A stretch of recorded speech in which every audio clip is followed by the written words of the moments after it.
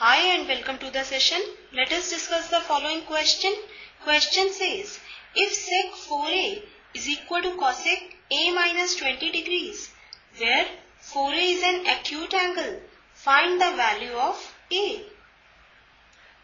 First of all, let us understand that if theta is any acute angle in a right triangle, then cosec 90 minus theta is equal to sec theta. This is the key idea to solve the given question.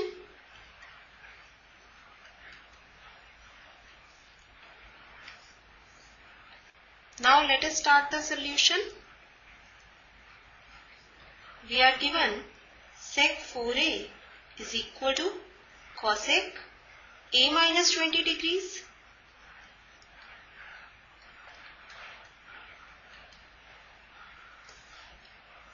Now we know sec theta is equal to cosec 90 minus theta.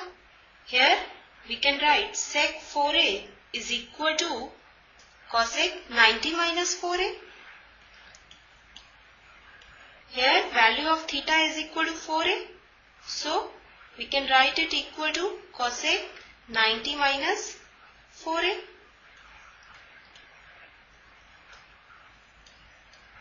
Now cosec 90 degrees minus 4a is equal to cosec a minus 20 degrees.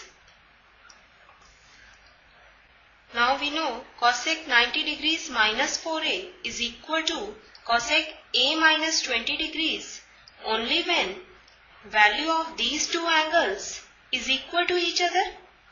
So we can write this implies 90 degrees minus 4a is equal to a minus 20 degrees.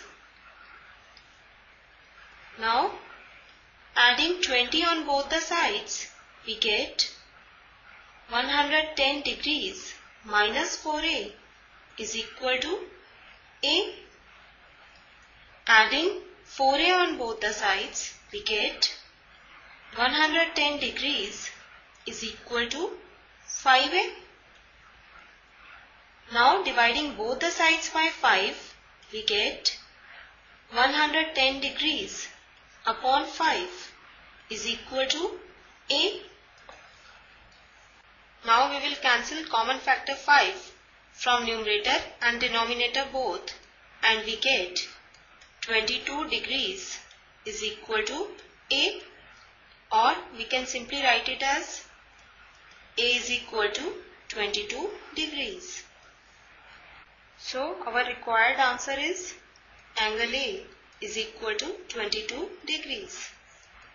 This completes the session. Hope you understood the solution. Take care and have a nice day.